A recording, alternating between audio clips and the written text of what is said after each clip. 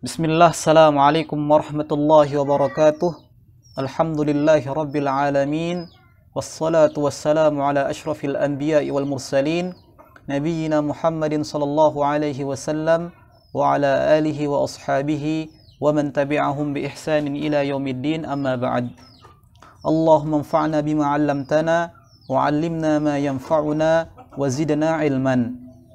اللهم لا سهل إلا ما جعلته سهلا وأنت تجعل الحزن إذا شئت سهلا. أيها الطلاب رحمني ورحمكم الله في هذا اليوم السعيد. هو لقاؤنا التاسع في مادة اللغة العربية. وفي لقائنا أمس قد تكلمنا عن ملاحظة نحوية لا النافية. والآن إن شاء الله تعالى سنواصل درسنا وسننتقل إلى الدرس الثالث وهو عند الطبيب. وهذا هو الحوار الثاني في هذا الكتاب. أيها الطلاب رحمني ورحمكم الله.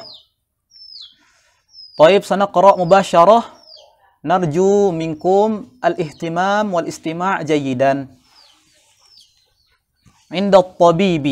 الطبيب الضغط مرتفع والسكر أيضا. ماذا حدث؟ المريض تناولت دواء الضغط ودواء السكري. الطبيب أعتقد أنك لم تتبع الحمية.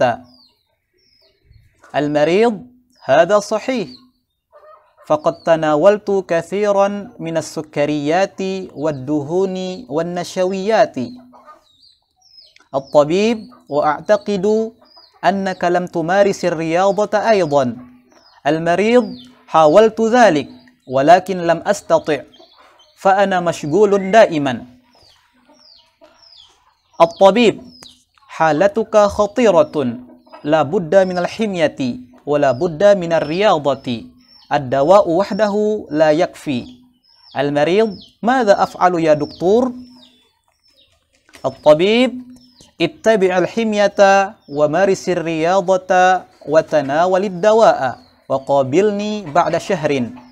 بين القوسين بعد شهر يقابل المريض الطبيب.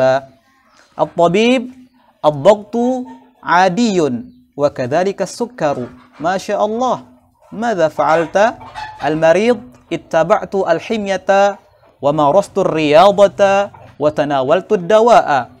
الطبيب أحسنت قابلني بعد ستة أشهر المريض إن شاء الله وجزاك الله خيرا. أيها الطلاب رحمني ورحمكم الله. دار الحوار بين الطبيب والمريض. يقال أن المريض عند الطبيب يريد أن يبحث حالته. وبعد أن فحصه الطبيب قال له الطبيب أن الضغط مرتفع وكذلك السكر مع أنه أي المريض قد تناول دواء الضغط ودواء السكري. ثم قال الطبيب أنه يعتقد أن المريض لم يتبع الحمية. وقال المريض صحيح أنه قد تناول كثيرا من السكريات والدهون والنشويات. ثم قال له الطبيب أنه يعتقد أن المريض لم يمارس الرياضة أيضا. وقال المريض قد حاول ذلك ولكنه لم يستطع لأنه مشغول دائما. ثم قال له الطبيب أن حالته خطيرة لا بد له من الحمية ولا بد له من من الرياضة لأن الدواء وحده لا يكفي. فقال المريض ماذا يفعل؟ ثم قال له الطبيب يأمره بأن يتبع الحمية ويمارس الرياضة ويتناول الدواء. وأمره أن يقابله بعد شهر ثم بعد شهر يقابل المريض الطبيب. وحالة وحالة وحالة المريض يتحسن تتحسن. لأن الضغط عادي وكذلك السكر. لأنه قد سمع ويفعل ما أمره الطبيب. طيب أيها الطلاب رحمني ورحمكم الله. قبل أن نشرح لكم شرحا وافيا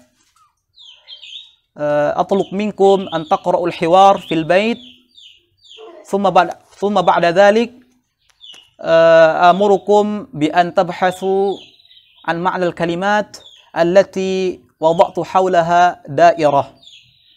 طيب يمكن هذا هو درسنا اليوم. نسأل الله سبحانه وتعالى أن ينفعنا بما درسنا ويرزقنا الفهم.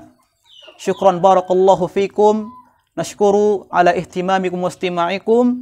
نختتم بدعاء كفارة المجلس. سبحانك اللهم وبحمدك. أشهد أن لا إله إلا أنت أستغفرك وأتوب إليك السلام عليكم ورحمة الله وبركاته